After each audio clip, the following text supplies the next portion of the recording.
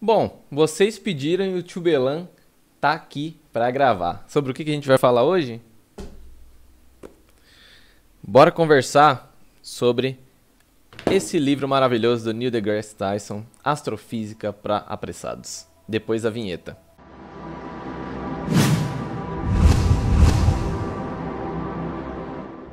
Olá, seja bem-vindo ao Astro Space, o seu canal de astrofotografia. Eu me chamo Alberlan Barros e no episódio de hoje a gente vai conversar basicamente sobre o livro Astrofísica para Apressados, do Neil deGrasse Tyson. Esse é um livro muito legal, de verdade, que foi um dos primeiros livros da temática de astronomia, astrofísica que eu acabei lendo. Quem não viu o vídeo anterior que eu comentei sobre se você costuma ler, inclusive, dá uma olhada no card aqui em cima que tá bem legal para esse ponto de reflexão, né? Eu conversei sobre é, eu não ter muito hábito da leitura e estar tá desenvolvendo isso, né? E no ano de 2020 acabei lendo bastante livros.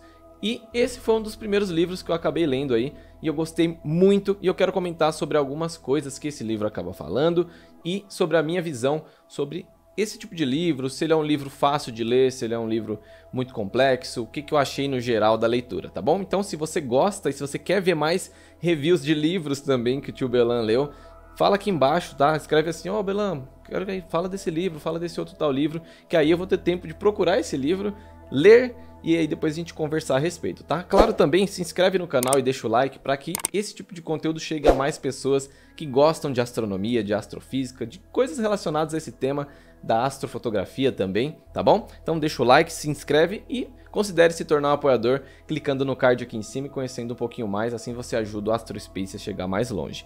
Bom, dito tudo isso, vamos conversar um pouquinho sobre o livro. O livro Astrofísica para Apressados, ele é um livro que foi escrito pelo Neil deGrasse Tyson. Quem não conhece o Neil, ele é o apresentador de Cosmos na versão mais nova, né? Cosmos antigo tem o nosso querido, lendário Carl Sagan, o cara que fez a diferença na divulgação científica no nosso planeta, né? E o Neil deGrasse Tyson fez a versão atualizada de Cosmos. E esse livro foi escrito por ele. Ele tem uma visão bem legal, bem humorada, isso é muito legal, cria uma característica diferenciada que faz com que a leitura não seja tão densa, ele consiga abordar temas mais complexos, mas que a gente consiga ter algumas uns alívios cômicos ali dentro que ajudam bastante na nossa leitura.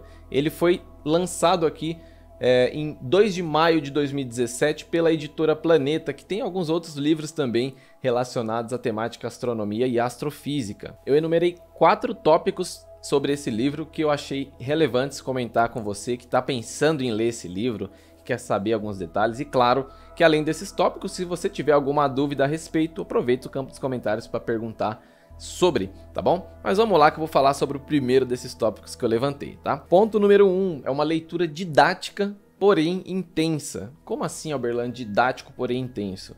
O Neil deGrasse Tyson, ele consegue se passar ali, passar o entendimento dele adiante, dá para você entender o que ele está falando, sobre o que ele está falando. Ele aborda desde o início do universo até temas muito mais recentes, supernovas, sobre os objetos do cosmos, tá? Mas é uma leitura intensa porque se você não tem nenhum contato com astrofísica, com astronomia, talvez seja muito excesso de informação. Então ela é uma leitura convidativa. Você vai ler, vai ter alguns tópicos que não estão tão claros. Ele explica de uma maneira clara, mas ele vai citar alguns termos, algumas coisas, por exemplo, bóson de Higgs, sobre fótons, elétrons, leptons, que assim, ele não vai explicar para você o que, que são cada uma dessas coisas, e você vai acabar tendo que pesquisar por si só para entender melhor sobre isso, tá? Então o que, que acontece? É uma leitura legal porque ela te instiga a continuar o teu estudo dentro do, da temática da astronomia, da astrofísica. Por isso que eu digo que ela é didática, porque ele consegue trazer clareza citando como as coisas ali que ele está querendo passar é, são feitas, são organizadas, como aconteceram, tudo isso. Porém, tem termos ali, uns termos ou outros, que ele não explica necessariamente. Não é tintim, tintim por tintim. Tem coisas que você vai ter que pesquisar por fora para acabar entendendo. Por isso, leitura didática, porém um pouco mais intensa. Isso já encaixa com o tópico 2, que é isso daqui, né? Você vê aí na capa dele, tá escrito Astrofísica. Deixa eu tampar meus olhos. Aí, ó, Astrofísica para apressados. Porém, algumas pessoas acabam confundindo com a temática daqueles livros for dummies, né, para leigos. Não é um livro necessariamente para leigos, tá? Não estou dizendo que um leigo não deve adquirir, porque justamente pelo tópico anterior é o motivo pelo qual eu, como leigo, adoraria adquirir um livro desse e adquirir. Eu não tenho conhecimentos tanto sobre astrofísica assim e por isso eu invisto nessas leituras, tá? Porque ele é um livro convidativo, mas ele não é um livro que um leigo vai ler e de fato entender 100% do que está aqui. Ele é um livro para apressados porque é muito resumido sobre toda a temática da astrofísica. Você pegar aqui um livrinho dessa grossura para discutir sobre astrofísica, tem muita coisa aqui de uma maneira resumida. Então ele é convidativo. Isso eu acho legal porque ele instiga ao seu lado autodidata, você querer ir atrás e pesquisar sobre algumas outras coisas, tá? Mas é um livro muito bom, uma leitura muito gostosa mas que te convida a pesquisar um pouco mais sobre o tema, tá? Porque o tema também não daria para abordar tudo, tudo, tudo dentro de um pequeno livro, tá bom? É o que já encaixa no tópico 3 também. Ele é um livro que instiga a curiosidade. Então, com o passar das informações, dos capítulos que a gente acaba passando, é, você começa a sentir vontade de saber mais sobre alguns determinados tópicos. Isso aconteceu comigo lendo também esse outro. Só um momento. E bagunça, hein? Lendo esse outro aqui, que ainda a gente pode conversar sobre ele, eu não terminei de ler esse livro, que é o do Stephen Hawking, O Universo numa Casca de Nós. Esse também é um livro muito convidativo que te instiga a curiosidade, tá? Por que instiga a curiosidade? Porque faz com que você queira pesquisar mais, igual já falei anteriormente. Tem tópicos que são muito densos e que você fala assim, meu, eu, se você é uma pessoa que só quer ler por ler, você vai ler tudo e vai passar. Agora, se você é uma pessoa que tem um perfil diferente de leitura, que se assemelha com o meu, que você lê e você acaba falando, pô, mas o que, que é isso? Deixa eu pausar aqui e dar uma pesquisada. Ah, entendi. E ele vai construindo o teu entendimento enquanto você vai lendo. Esse é um livro que é muito bom de verdade. Então ele vai te instigar a pesquisar mais a respeito de alguns determinados temas, tá? Então, tópico 3 instiga a curiosidade. E o item 4 é que ele é um livro bem abrangente, ele fala sobre muitas coisas. Eu vou até abrir aqui o, o prefácio, deixa eu aproximar aqui para você ver. Bom, eu acho que não deu certo, né? Mas vamos lá conversar aqui, eu vou explicar, ó. A maior história já contada, na Terra como no céu, faça-se luz entre galáxias, matéria escura, energia escura, o cosmos na tabela, sobre ser redonda, é, sobre ser redondo, Luz Invisível, Entre os Planetas, Exoplaneta Terra e Reflexões sobre uma Perspectiva Cósmica.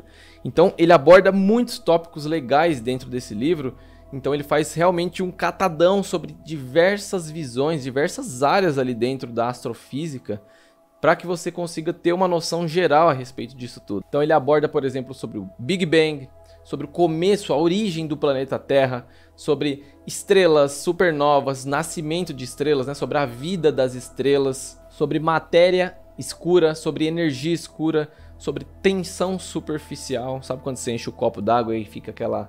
Você coloca a cervejinha assim, aí fica aquela bordinha ali e ela acaba não derramando e vai subindo. Aquilo é tensão superficial, ele conversa sobre isso. Não necessariamente sobre a cerveja, tá? A cerveja foi só uma saudade minha de tomar uma cervejinha. ele fala também sobre algumas reflexões do ponto de vista do, do, universo, então ele faz algumas, alguns cruzamentos entre as pessoas investirem muito, por exemplo, em estudos científicos, mas em contrapartida ver algumas coisas em que na Terra nós somos arcaicos, pessoas passando fome.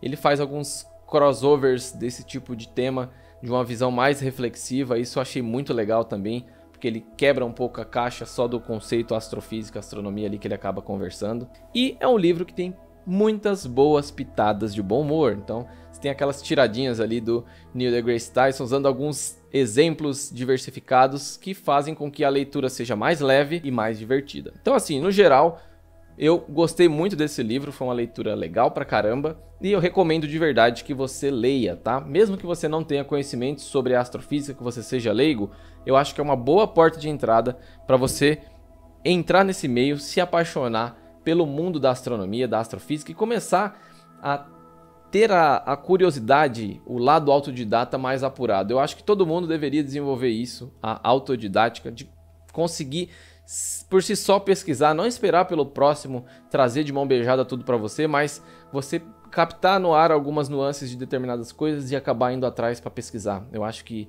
isso enriquece você muito mais intelectualmente do que a gente pegar tudo mastigado sobre a visão de uma pessoa só, por exemplo, não é mesmo? Então, é isso. Esse foi o meu ponto de vista, tá? Eu não sou um cara, eu não sei fazer review de livro decente. Sinto muito se você é um purista de livros, perdoe-me, tá? Só tô contando a minha perspectiva sobre como foi ler o livro Astrofísica para Apressados. Então, assim, se você gostou, se inscreve no canal e fala pro tio, pô, gostei, não gostei. Eu preciso saber, porque são vocês que balizam o tipo de conteúdo que eu acabo compartilhando com vocês aqui no Astro Space, tá bom? É isso. Se você gostou, se inscreve, deixa o like, um grande abraço astronômico e valeu!